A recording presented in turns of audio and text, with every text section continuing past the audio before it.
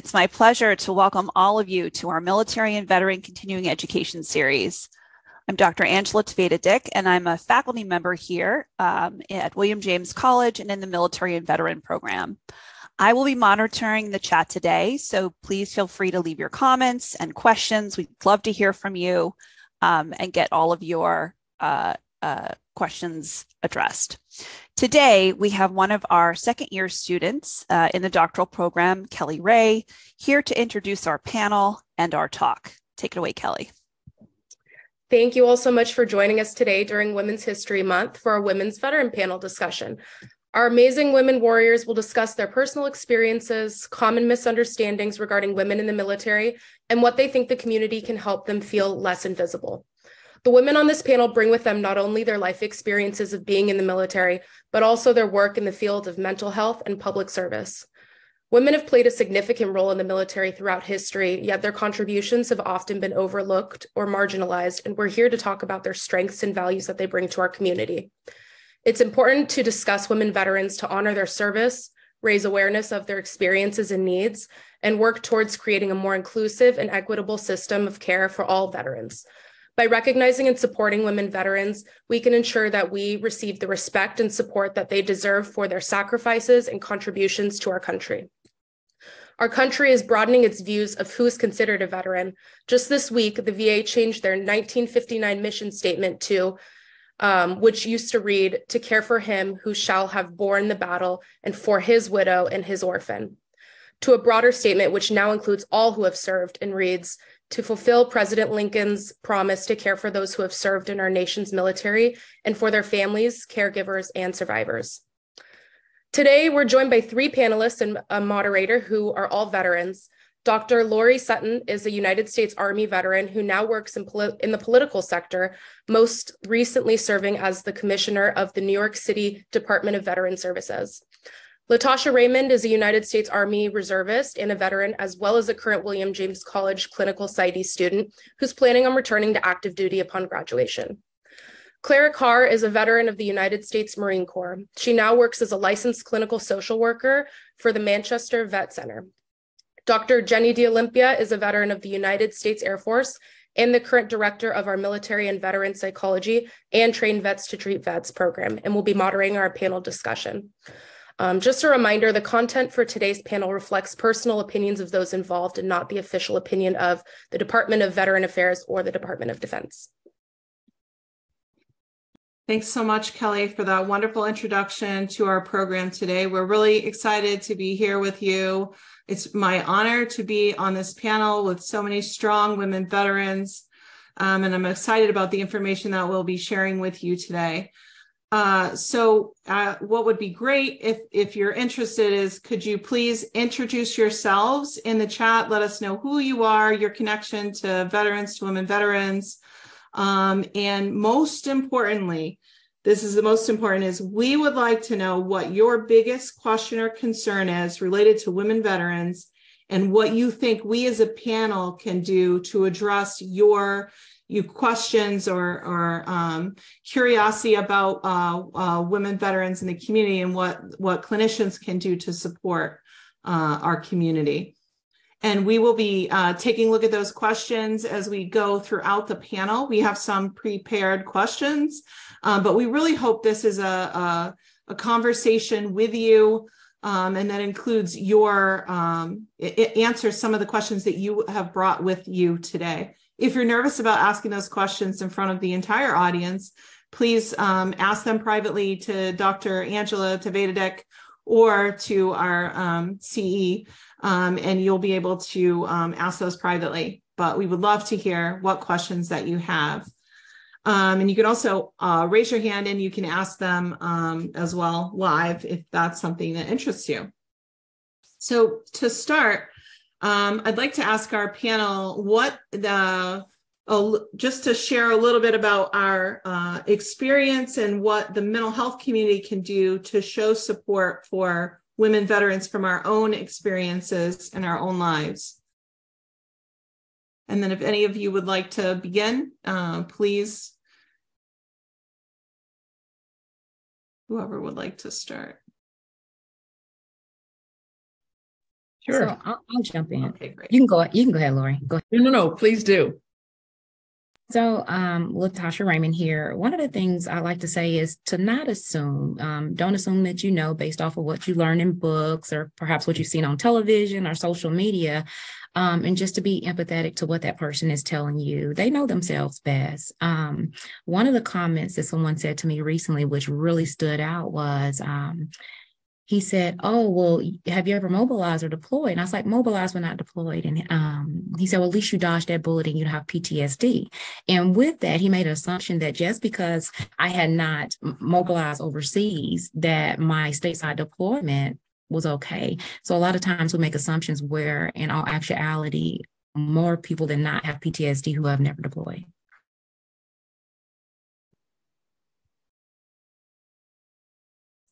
LaTashia, I think that's a great point. And, you know, what, what it brings to mind is another point related to uh, one of those assumptions is whenever military sexual trauma comes up, so many times people assume, oh, that's a woman's problem. Well, in fact, although the proportion of uh, women who experience military sexual trauma is much greater than men because of the numbers. Actually, there are as many men who have experienced military sexual trauma as women. And there's a very different set of factors relating to both men and women in terms of their reluctance and difficulty of coming forward to report it.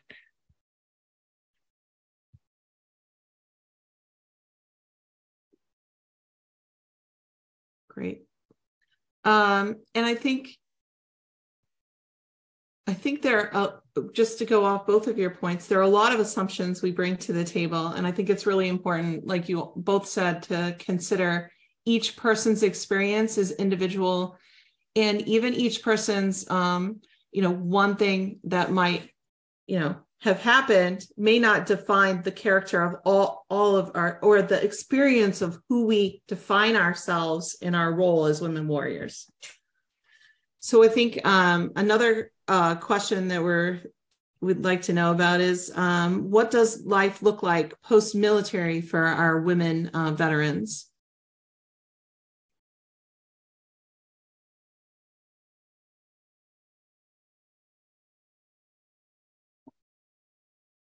I'll jump in. Okay, great. I think no matter what rank you were in the military uh, or what level of education transition is difficult for everyone. We'll put that out front.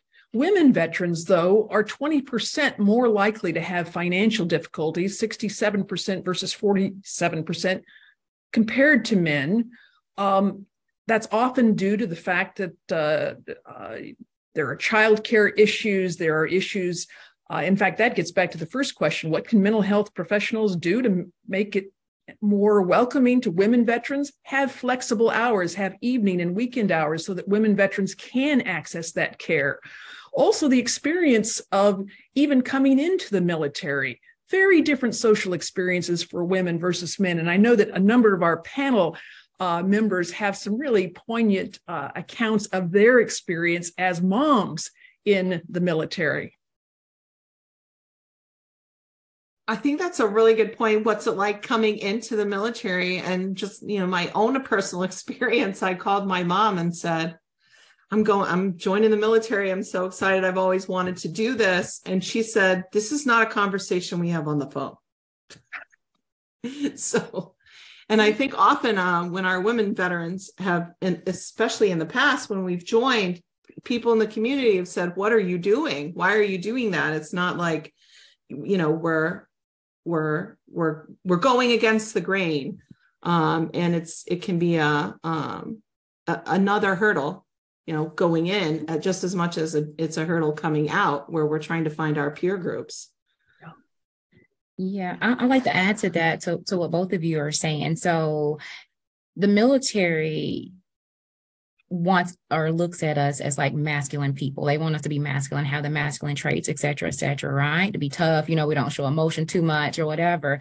And that's like, that's, that's really good for us in the military. But it's been my experience that when we exit the military, we're judged um, negatively for those things that, you know, if we are not, bu- you know, typically presenting, if we're not bubbly or we're not smiling a lot and things like that, kind of like, what's wrong with you? And I'm like, nothing. That's just how we are conditioned to be.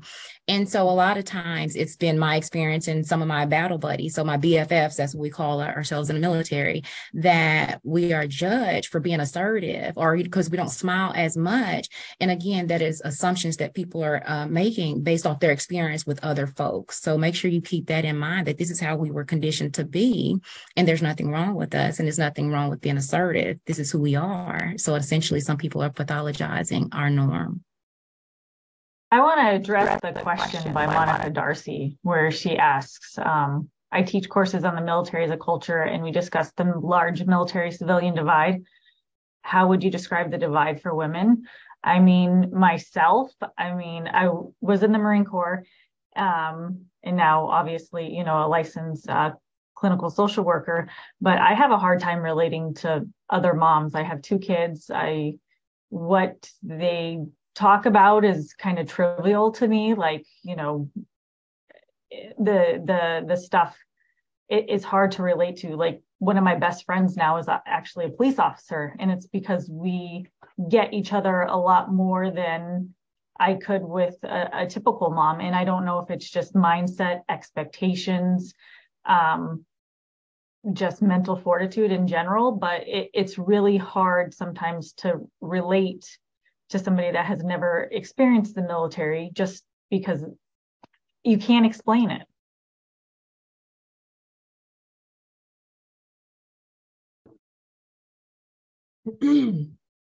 it is hard to explain um, and it's hard to find a, a it, it's very hard to find a peer group when you're when you're coming out because uh, especially uh, LaTashia you were talking about the experience of of of not having feelings and then coming out and you're supposed to have feelings when you come out. You're supposed to show some feelings some connection some tenderness the expectation the general expectations for how women are supposed to act in the community. And as women military members that's been trained out of us. Like so um you know we we we struggle to find a peer group um, that understands us So we have a, a, question in the chat that I think is a really good one from Rachel, who's asking, um, sense isolation or feeling like an outsider play a role in some of the struggles that women experience?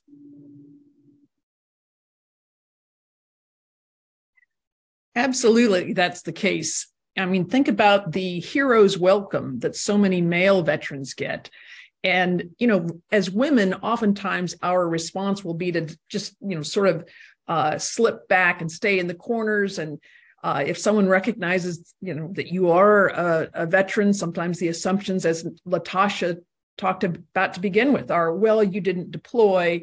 Uh, surely, you know, you're doing clerical work, not recognizing that the entire nature of warfare has transformed. There is no front line. Everyone who's deployed is on the front line, and the the um, those assumptions, I think, are so uh, demeaning to women that oftentimes we'll, we'll then further isolate ourselves and not put ourselves in a position to have to explain what we did in uniform in ways that men do not.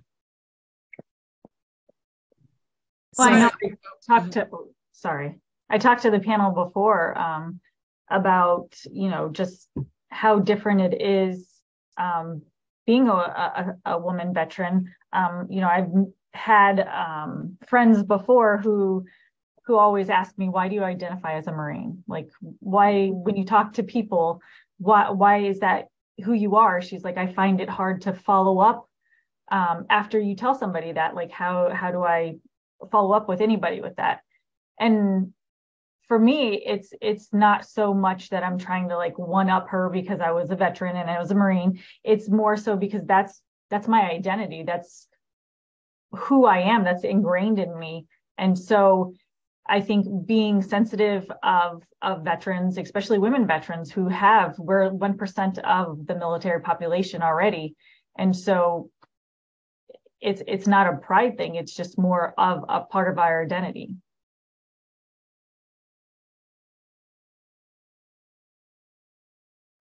I think that's a, a, good point. It's not it's not like you're saying I'm a I'm a veteran because you want everybody to stare at you and say good job you're the best. We're just saying that's a part of your your your human like this is what who I am. I identify um, as a woman veteran and as a clinician. I identify with both of those. If you're in a conversation and you say I'm a mental health counselor, people don't say why do you call yourself that?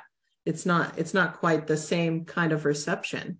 Because people don't see when when you think of a woman if, when you think of a veteran in your mind probably it's not one of us that comes to mind.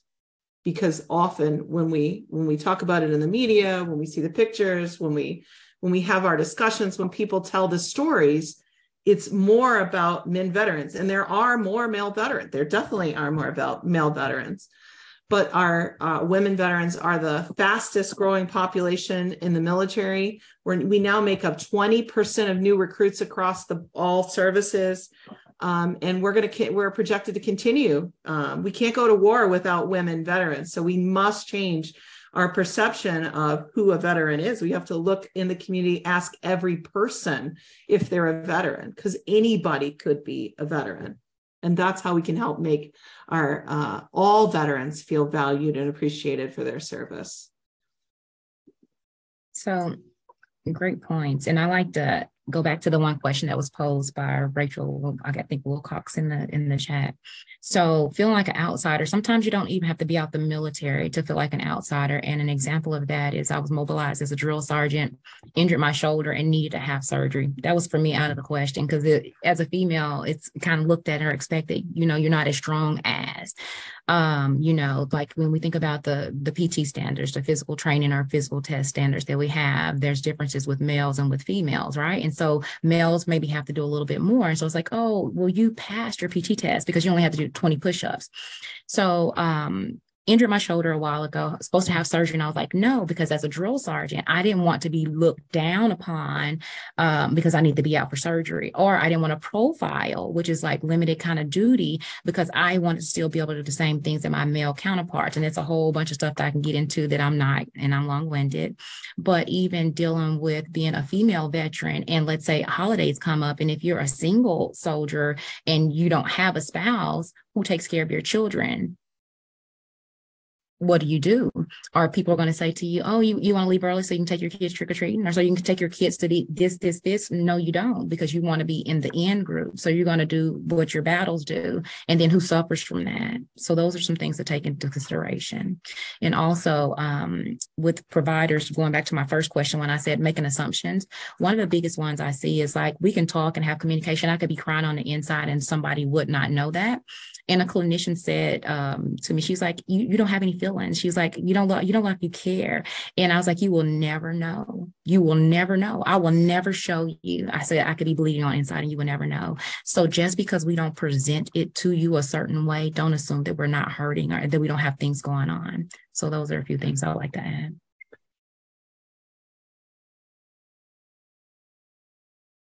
You know, I'm just putting into the chat now. There's a great book that I ran across in preparing for this panel. It's it's written by two badass Marine veterans, women veterans, uh, Kate Hendricks Thomas and Kyleanne Hunter. It's called Invisible Veterans. What happens when military women become civilians again? I would highly recommend this book as a good reference text as the VA and all of us prepare for this increasing and essential role that we as women play in our country's uh, national security and defense. Hooah? Great suggestion. I've read that book. It's a it's a quick read too. It's uh, easy to follow and definitely worth the read. Right. Um, I want to add because I think we're talking about. Uh, I think what I want to make clear is that we don't want you to feel sorry for us for our struggle. We just want you to treat us like real veterans. and I'll I'll give you an example of that. Is that my um my son came home one day and he gave me a card for Veterans Day, and he said, "Even though you're not a real veteran, I made you a card." And I was like, "Well, what what do you mean? What's a real veteran? What is that? What is that?" He said, "It's an old man." And because that's that's how they were depicted in a school and those were the panel discussion and the they were it was all old men that they had seen. Those are veterans. Uh, but i think that what we hope our panel does and what you can do in the community um, is to know again anybody could be a veteran and we're real veterans too That's great. You know, that reminds me, Jenny, one of my old bosses, General McCaffrey, he tells a story about his grandson when he was three or four years old, and his daughter is in the National Guard. And it's Halloween's coming, and hey, what do you want to be for Halloween? You want to be a soldier? He says, Oh, no, that's for girls, because all he had seen was his mom in uniform. Wow. so, you know, part of this is socialization and exposure and and and role models. Um, when I was, uh, you know, I guess I was a full colonel at that point, and I was moving into a new job. My first start, one of my first sergeants had a four-year-old, five-year-old kid who, after several hours of moving boxes, all right, looks up at his dad and says, "Daddy, is is she your boss?" And of course, first sergeant's dying a thousand deaths. Yes.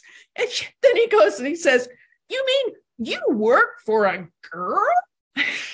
so it's important to acknowledge that you know we've got great senses of humor but we've had very different experiences along the way. Absolutely. Thanks so much for sharing that Loree. Um, kimberly asks uh, an interesting question. Uh, it's more of kind of like a, a reaction from you guys. Can i assume that the top of the chain of command are already shifting their own thinking of women veterans and active military as equal to their male counterparts? In my experience, no.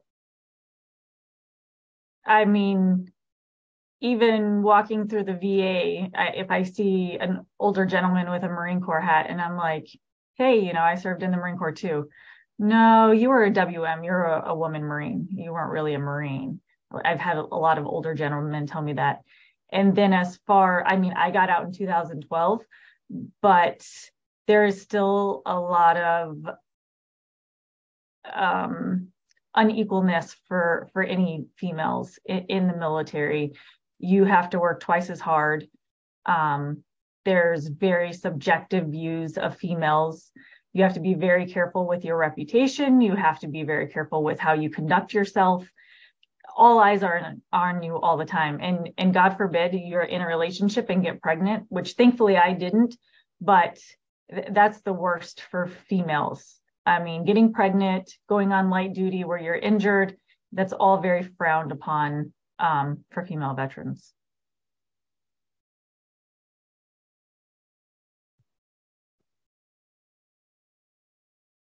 Yeah, so you bring up a good point that you're not not only are we the most invisible veterans, but we're the most visible military members. Um, and I think there's I even have seen some some headlines that talk about that, and it's it's talked about in the book uh, that you talked about, Loree, um, by Kate Hendricks Thomas.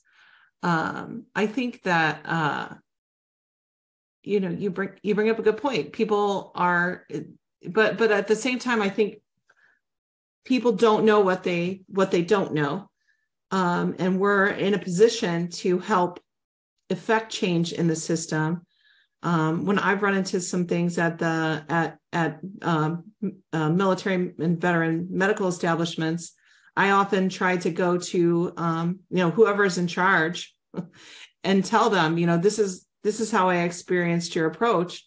Is there another way that you could do it differently? And I'm tell that that I've been doing that for a long time, and that's really exhaust. It really is exhausting um, but I think that if if any of us are in a position to help affect change in that system, that it's it can be helpful, and change could happen immediately. Um, but there are a lot of systems, so um, you know these are these kind of talks. I think are are ways that we can get the information out about um, you know how women uh, how women military and veterans are feeling um, in the system. I think there are a lot of changes that have come, though, uh, Clara, more recently um, in terms of at least in uh, how things are supposed to be done and how um, the because I think there was a rule um, in the army where uh, a uh, a woman couldn't serve in a unit until there was leadership in that unit, and I think that rule just changed this week as well um, to open up um, more jobs to to women. So we have a, another question in the chat, which I think is one that a, a lot of providers are probably wondering about, and I know I, as a provider, am wondering about as well. So Kelsey asks, do you have any suggestions on how we can better reach the women veterans in our communities to be able to provide these much needed services? So I have a question for the question. Do you mean find, like locate where the female veterans are, or do you mean like a connection with them when you have them in your facility? Uh, finding where the female veterans are. So I think the connection piece, um, so I'm a female veteran myself. So the connection piece isn't too hard for me personally, but I'm finding that a lot of female veterans aren't actually reaching out to access the services that are in place. I think that's a really good point, and it's true. A lot of the services are set up to support older men I think that is one of the barriers to overcome. Uh, I think that women, uh, I think a lot of us, some of us don't identify as veterans, so we don't even realize that's a that's a role that we play in the community because we we have bought into the narrative um, or maybe we didn't serve for 20 or 30 years so we think i'm not a veteran because i didn't do that or i'm not a veteran because i didn't deploy for a year or I'm not a veteran because I got out early because I I decided to start a family. So now I'm not a veteran anymore. There are a lot of uh, reasons that I think we. So I think that we ask a different question to women in the community, to all people in the community: is Have you ever served in the Army, Navy, Air Force, Marines, Coast Guard, uh, or any of the other services? in the National Guard, Reserve, or active duty? Like it's a bigger question than are you a veteran? Because that that's how uh, do do you define yourself as a veteran or not? Maybe you don't and you are. Um, so I think it's really asking everyone. Does does anybody else have any thoughts about how we can reach our yeah Yes. Um, I, so I'll, I'll put on my old HR hat for a while and and say outreach. And I know that's a very broad response, but like I said, I put on the HR hat. And that um, when I did work for the VA, one of the things we did is when we we looked at like who's in positions of of power, if you will, or leadership, we will compare our stuff to like, you know, national numbers. And so that required us to see like what different populations were in what different areas. So I, I will kind of say that to you all, if you want to put in a little bit of the work, I'm quite sure there's data out there somewhere, and I, and I don't know that, where it will tell you where most veterans are going or whatever to be able to see where female veterans are and then start doing outreach in those areas, communities, etc. And when I say that, um, it could be if you know certain people are at a community center or if they're at, you know, some kind of event they go to or you know even laundromats or bus you know tr- public transportations. So i would say find where they are whatever the data tells you they are and then do some outreach activities to bring them into you because they're there and they need help.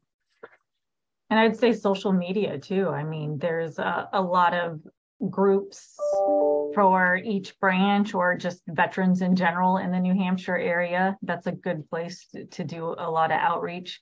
But then also realizing, I feel like even for me, I wouldn't be interested in a group really because I have young kids, work full time, you know, dealing with life. And I feel like majority of the groups that I even have or, or people that most engage are the older generation because they're retired. They don't have all those um, responsibilities still on hand. So probably, like they said before, weekend after work hours, you know, is going to be the best time that you can actually get women to engage a little bit more. You know, I think also um, the vet centers are a great, great asset. I really consider vet centers as the most, I mean, they're really the unsung hero of the VA uh, system. You know, it's a storefront entrance. You can get a cup of coffee, but they've got trained professionals, including a, marriage and family therapist who's there. Um, it's really an important uh, resource for veterans. And I would also say to give the VA a shout out, some of their posters in the last year or two featuring women, strong women, I just have to say, yeah, you know, when I see them in the hallway of the VA, and I go to the VA here at Montrose and in the city, New York City, it just makes me feel proud to be a veteran. And so I think we can send out some of those posters using social media. And then also, I got to come back to what you said at the very beginning, Jenny. This deal about changing the VA's motto and mission statement, that's huge. People have been working on that since you know almost since Abraham Lincoln said it to begin with. But uh, that's that's that's really a huge uh, step forward. And so to piggyback on that, like with the um, the outreach that I mentioned earlier, right now I'm at Harbor Street Community Mental Health in Massachusetts, and they have their own vet center, which is not an official VA vet center. And the director of that program, she actually, she and her staff go out like to some of the homeless communities where they know veterans are, and and get a lot of folks from there because they really need it, and they're most times not going to come, so they go out and do outreach out and where where people typically are too. Well, to recognize that homeless women veterans are, are dis, disproportionately represented. It's a higher proportion of veterans, women veterans who find themselves homeless. And part of that is that social isolation, the increased financial burden, the child care issues. And, you know, part of that social isolation has to do with, you know, some of the guilt that we put on ourselves. You know, I don't think that men uh, love their children any less than we do as women. But I'll guarantee you, no male veteran has ever been asked, Oh, you're going to deploy and you're going to put your family behind your career? Every women veteran, whether you're asked that directly, we bring it on ourselves as well. It's a huge burden that we just need to share. We need to un, un, unshackle ourselves from that, but it's not easy. That's it exactly. I think that we even even as women serving, we carry the same thoughts as the community does. And, and a lot of women uh, military members are, are married to other m- military members. Uh, 50% of our uh, marriages are to other military members, and probably a good percentage of those uh, who aren't currently in the military are veterans. Um, this is this the the numbers don't uh, you know aren't collected there. Um, but there was a study that, uh, done on some Air Force to Air Force couples, and it looked at uh, what the concerns were in the um, in the relationship. And for the male, his concerns were about his rank, his next move, and you know his you know role. Her concerns were for his rank, his next move, and finally for her rank right? So we're even uh, changing our own minds about how we can, uh, you know, create this space where we can also respect the work that we're doing. So we have another uh, comment question in the chat, uh, again from Rachel. Um, another clinical question. It seems that some assessments or intake questions uh, don't take into consideration the training culture that military service teaches veterans? Are there resources or suggestions to make sure approaches are more mindful, especially during intakes? Um, and she talks about working with individuals that experience trauma, you know, informed consent. There could be intake questions that are are trigger, triggering, um, you know, but would this be, you know, what are some recommendations for that? And um, if, uh, you know, she does do a lot of informed consent with folks with, you know, trauma so that they are not triggered, is this style antithetical to how maybe veterans are trained to respond? This is such an important question. I'm so glad that somebody brought it up because it's it's vital If you can't get through the intake assessment, how are you ever going to get to treatment? And there are ways that you can do this. And in fact, I'll send out a um, an article. My wife, Lori, she's written about this, not specifically for women veterans, but for trauma, people who've experienced trauma, and how important it is to start out with resource questions that sort of activate the, the parasympathetic, relaxed part of our autonomic nervous system, and then sprinkle in a couple of the tough questions because you got to take the tough history, but then to go back to the resource session so that you're really uh, mimicking the rhythm of a nervous, uh, a healthy nervous system. It's really important. And then that issue of exposure ties into the therapies as well. I was reading a, an article just, you know, recently that was published a year ago, and the dropout rates for the two therapies, prolonged exposure and cognitive processing therapy, were 56% and 47%. How can you call something a success when half of your folks are dropping out, of the treatment? So I think this is a, a, huge issue that all of us can be part of the solution for in helping move forward and getting more people not only to access care and treatment, but to, to stay in and benefit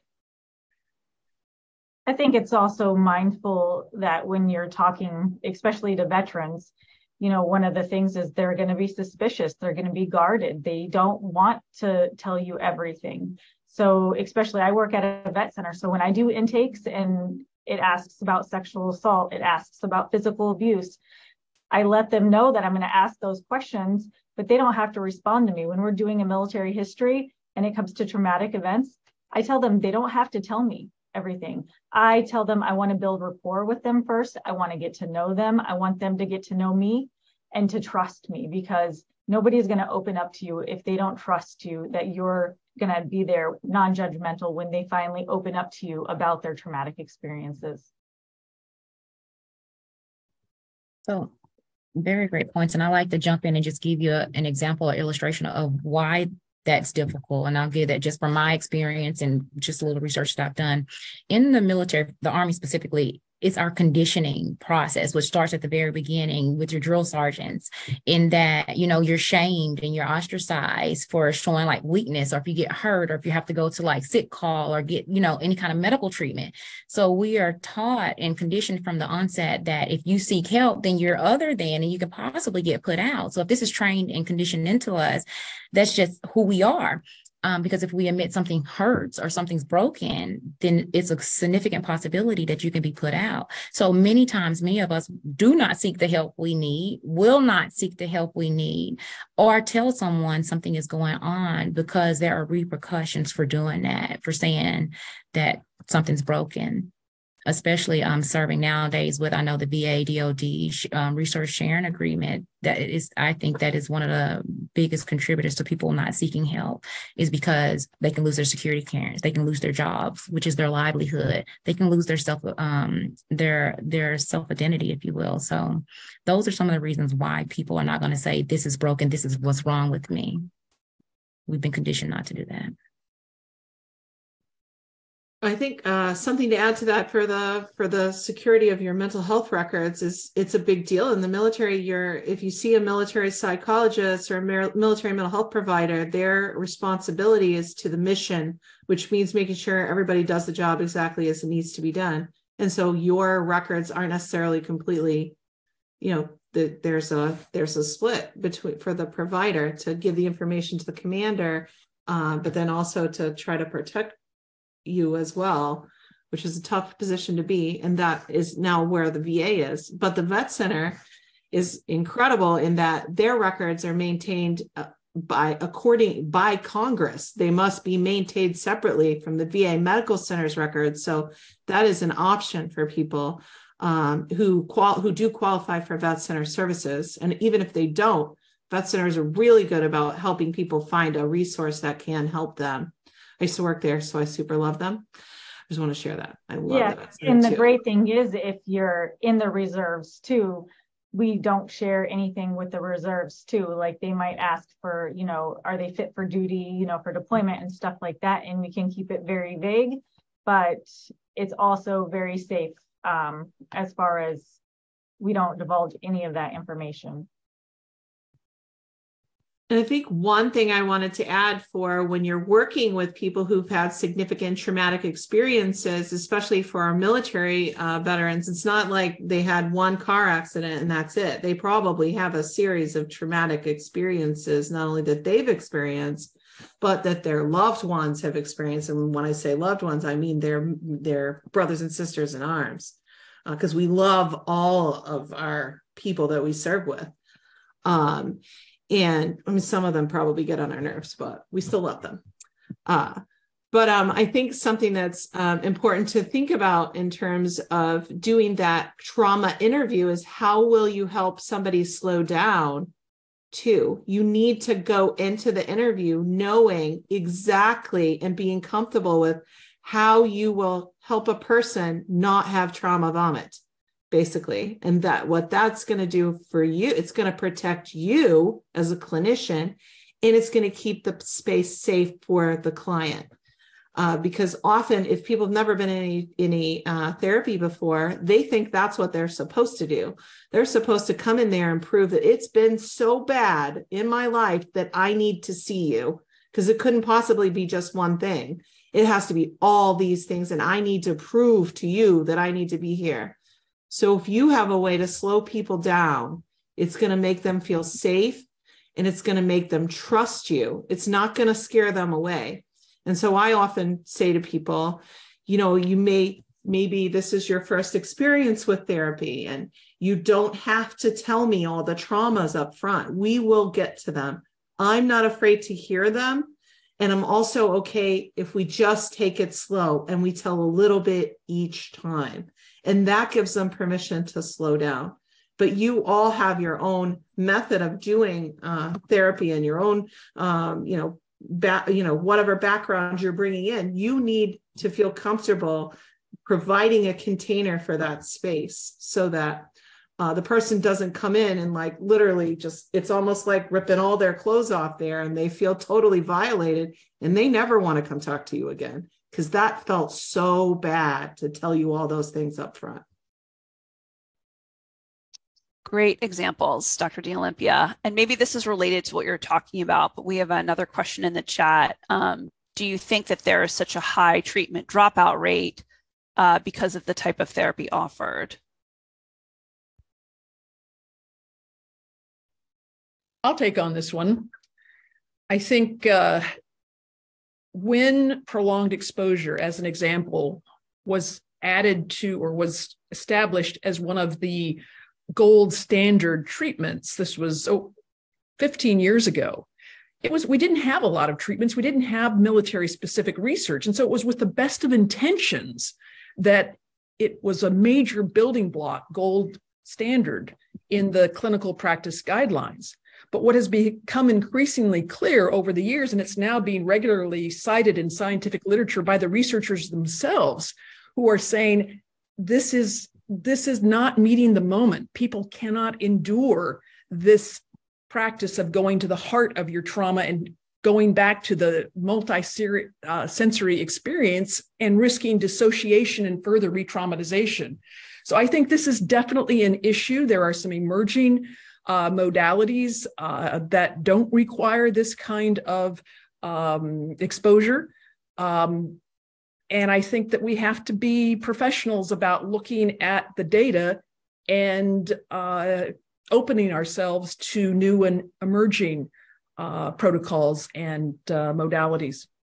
Good question. Because I'm certified in EMDR. And so that's a, a good therapy modality that I can use with my clients that isn't necessarily making them relive the trauma.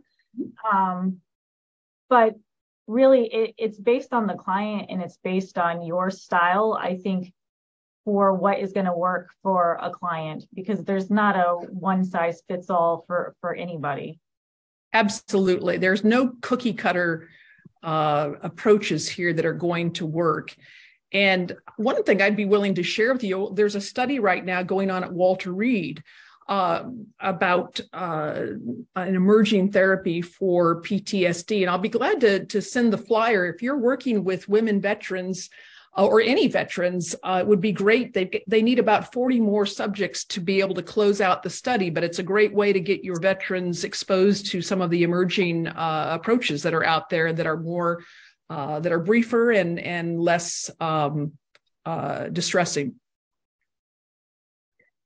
and I like to add some some of it is the therapeutic alliance because sometimes we have people come in and we ask some of these questions and it is quite jarring. Um, but I think if a little time is put into that therapeutic alliance where some trust is built and established, then people, if you build that, then people will bring to you the things that are troubling them most. But if they're skeptical about who you are, what you're going to do with the information, they might be a little more reluctant to to bring those things to you. Safety drives the bus, doesn't it? Definitely. I think something to add to that, LaTashia, when you were talking that made me think about be cognizant of why you're asking about the details of a person's traumatic experience. Because if you're asking them because of your own curiosity, because you're new working with veterans and you're not sure about, you know, some particular detail, um, then that's not the question to ask you want to ask the questions that are going to be important to help with the therapy. So if it's for the client, it's a question.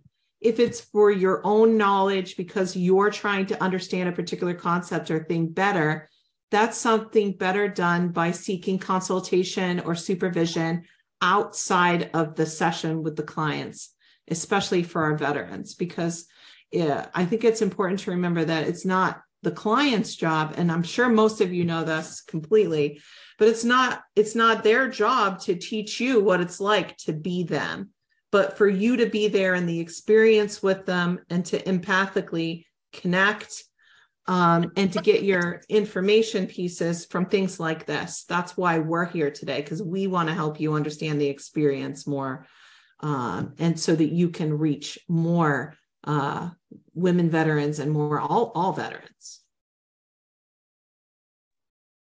So we had another question in the chat um, from Kimberly. Are women veteran able to take, I think it's able to take advantage of the Wounded Warrior Project, or is there something comparable to that specifically geared for women?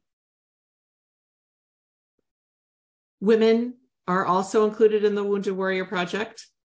The, the Wounded Warrior Project even did their own study about women veterans, and they looked at women veterans' experiences of all the women in their program. Um, and you could probably get that study. Um, maybe we could send it through CE if you want to see uh, the experiences of women veterans who are involved in the Wounded Warrior Project. There are also many women veterans organizations out there, such as SWAN, Service Women's Action Network, they're and they're doing things to promote equality um, with our women in service. There are other there's a women veterans warrior coalition. There's probably a hundred women veterans organizations out there started by women veterans who wanted to find a way to meet their community connect and belong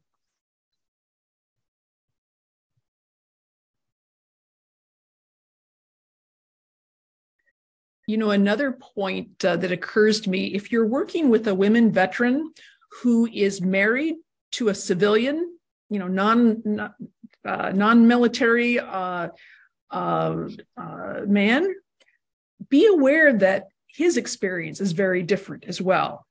Um, no one ever asks an army wife, "Oh, so you're married to a soldier? You're going to follow your husband around for all your career?"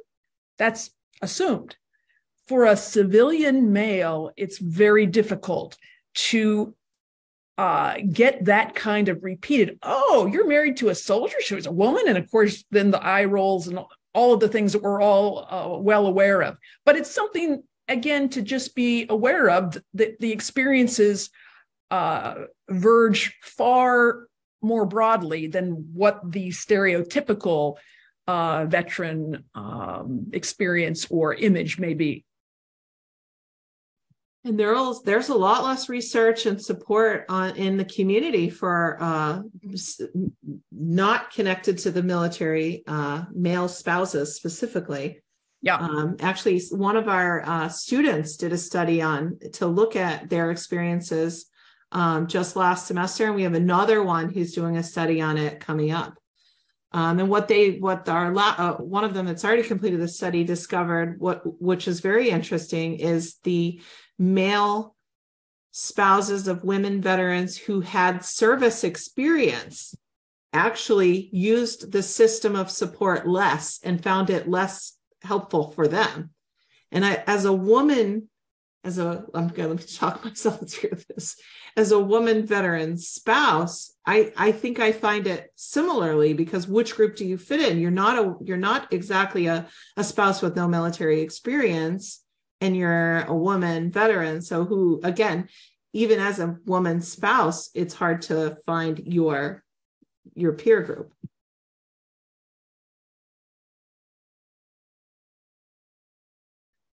So I think we have about uh, we have nine minutes left here. I want to see if you have any. Um, I think I'm going to go around in our panel here to see if we will first see if you have any additional questions or um, Dr. Tvedic, are there any questions that we might have missed in the chat? And then I'll. No, I think we got to everything. Thank you. Great, awesome. Well, I want to go around our panel and see if our panel has any um, final thoughts that they'd like to leave our audience with, because um, I'd hate for us to be, you know, cut, cut off without be, having an opportunity to say goodbye. Um, so uh, if you could just think of what you'd like to leave our audience with um, when we think about women veterans um, and what might be helpful in terms of welcoming us home.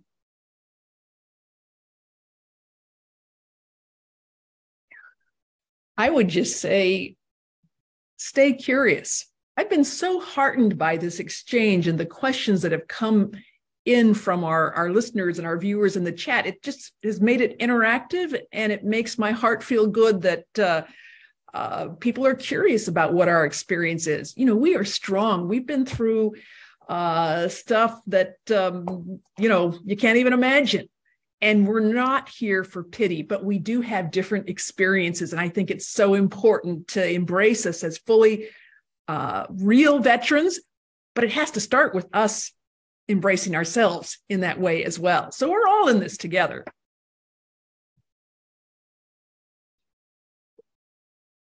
So I will say that um, as women in in in general are conditioned to be nurturers and to take care of others, right? Then we come in the military and we have this thing of selfless service, and we don't unlearn those things. That becomes essentially kind of who we are. But in that, we we oftentimes forget self care because we're always taking care of family, taking care of you know others. I would like to say to to encourage your your clients to engage in self-care and take care of themselves. They can't continue to do the things that they're doing unless they take care of themselves and that there's no shame in that and that you can't complete your mission unless you are taking care of yourself. LaTashia, can I just pile onto that for a moment? Self-care. Liz Stanley, who's a professor at Georgetown, she developed the mindfulness based mind fitness training program the research is amazing. It's self care, it's available online for free. The training is available to veterans, to military folks, to uh, family members, to public servants, uh, cops and firefighters, uh, all of us who are on the front lines of community. And I would just highly recommend uh, Elizabeth Stanley and her mindfulness based mind fitness training it's a bit of a mouthful but it's really great uh, and it's not you know it's not long-term meditation it's attention based skills that really help us stay uh, within our resilient zone and be our best selves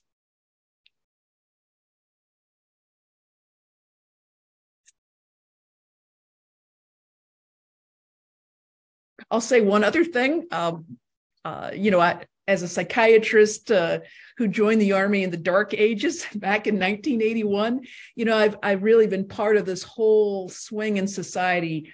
Ptsd was first established as a diagnosis in 1980 and and you know we're learning as we go but what neuroscience is now bringing forward and in particular uh, shorter more effective less distressing ways of uh, healing from trauma.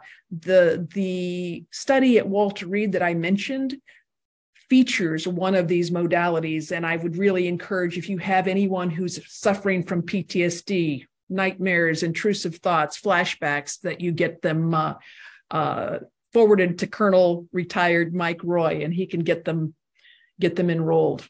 I'm excited about the way ahead. I think we've got you know, just looking at at the group here that's here today and my colleagues here on this panel. Uh, come on, there's there's no challenge too great. Absolutely. I'll add one last quick thing I know before Jenny closes it. Uh, so many times people in class, people in my clinical programs will ask, well, what do we do? How do we connect with veterans? And I said, treat them like people, be real, be honest. and and because people can tell when you're genuine and when people see you care that means something to them especially to us. So that that is my number one takeaway. Just be genuine and just care and you'll they'll bring it to you. Great. Thanks um, Loree LaTashia and clara thanks so much for taking your time out of your very busy schedules uh, to join us today and to share your experiences of uh, being a woman veteran. Um, so you shared of yourself and of your own experiences working with and around women veterans. Um, we really appreciate um, that you're you're you're being a part of our uh, discussion series, and um, I appreciate um, you know having this opportunity to interact with all of you, and to be among um, a room of strong women warriors. thanks uh, so much. And thanks also to our audience because we couldn't have these discussions without your interest. Um, if you didn't uh, come and listen to us talk about our topics and share our information about uh, uh, military and veterans, uh, important mental health topics, um, then uh, we wouldn't have a series. So thanks so much. We hope you will join us again next month. Um, and uh, please feel free to reach out to us um, if you have any questions. Thanks so much.